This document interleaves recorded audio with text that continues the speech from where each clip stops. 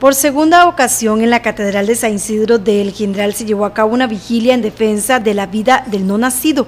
La intención era unirse en todo el país en diferentes templos con el fin de decirle no al aborto. Esta vigilia es, a nivel nacional, fue a nivel nacional y el trasfondo de todo esto es eh, decirle a todos, todas aquellas personas que que, bueno, que asistieron y que nos van a estar escuchando por medio de Canal 14, que estamos con decirle no al aborto. Nosotros somos pro vida y deseamos un país también que sea pro vida.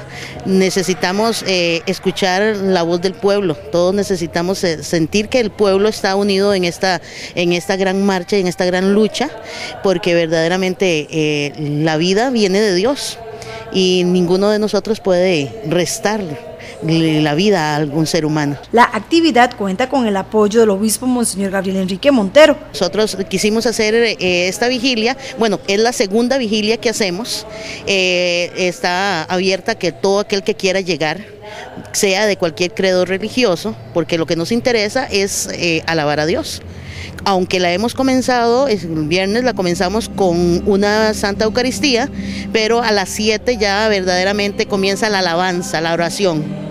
Entonces, por medio de, nuestra oración, que, se ha escuchado, es una forma de manifestarnos pacíficamente, eh, decirle sí a la vida y no al aborto. Esta es la segunda ocasión en que se lleva a cabo esta vigilia.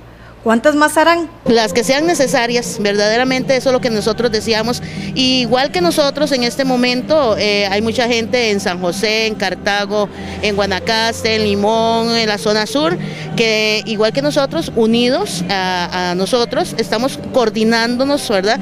Para, coordinados para que todos seamos todos a la misma vez y podamos... Eh, como ya te digo, eh, elevar, elevar esta oración a, Dios por, por, el pueblo de Costa Rica. La intención es defender la vida desde que se gesta en el vientre de la madre. Porque nosotros no nos podemos quedar callados a decirle, a decir que, que la vida no vale.